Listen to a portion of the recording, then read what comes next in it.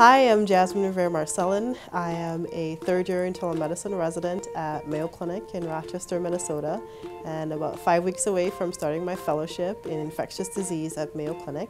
And I graduated from American University of Antigua in 2011. When I first was approached with the idea of going to Antigua for medical school, I decided that this was a great opportunity for me to be able to go home for my med school.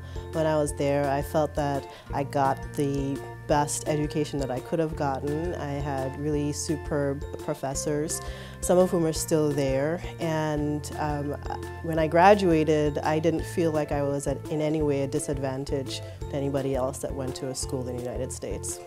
I think that my education that I received there was top notch. I learned good medicine um, and my basic science background was excellent as well. Uh, so anybody can go to AUA and have just as great of an experience. I did my clinical rotations mostly in Staten Island, New York, and um, at, they were at Richmond University Medical Center.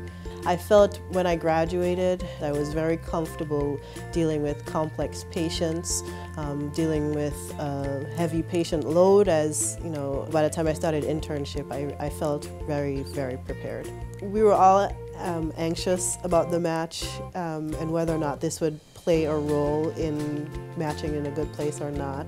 But I think once we landed into the interview, um, people, most people realized that we're just normal, excellent candidates. I get the most patient interaction with internal medicine um, and infectious disease even more so because you really have to delve into a person's history and when you get to help them, it's, it's really a blessing.